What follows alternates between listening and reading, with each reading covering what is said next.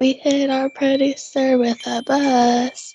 Walking home from our studio recording. He sure was super loud and annoying.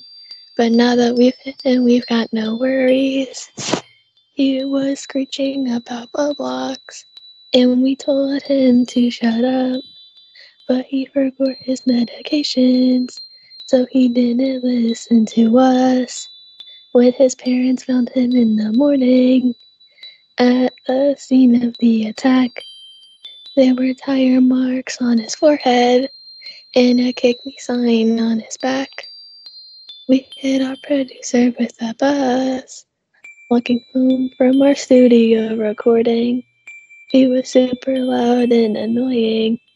But now that we've hit him, we've got no worries.